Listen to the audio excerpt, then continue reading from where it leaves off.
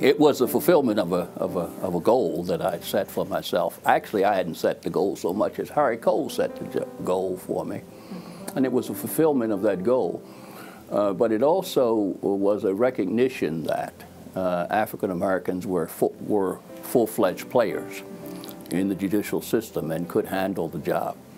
And I felt very uh, empowered, quite frankly, to have been entrusted with that position and felt uh, it incumbent upon me to do the very best I could to, to make sure that uh, it was perceived to be well deserved.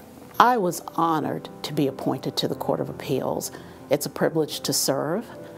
I feel that I stand on the shoulders of great women, such as Juanita Jackson Mitchell and Judge Mabel Houze Hubbard.